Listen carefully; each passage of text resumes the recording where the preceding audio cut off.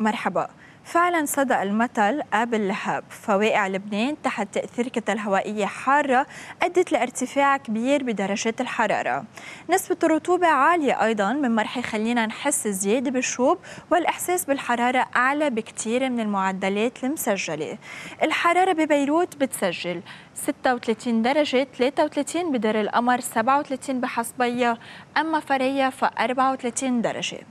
نسبة الرطوبة على الساحل مرتفعة وبتسجل 75% مما رح يزيد الإحساس بالشوب فكتروا من شرب المي وتجنبوا التعرض مباشرة لأشعة الشمس خصوصا بساعات الذروة يعني بين الساعة 11 و 3 ومنبهكم أيضا من خطر اندلاع الحرايق خصوصا بالمناطق الحرجية.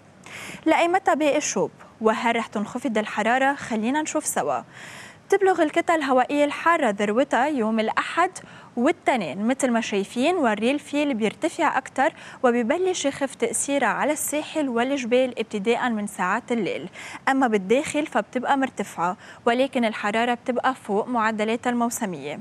الثلاثة والأربعة بيبقى الطقس على حاله بس الحرارة بتبلش تنخفض تتسجل 33 درجة والريل فيل بلامس ال 40 درجة.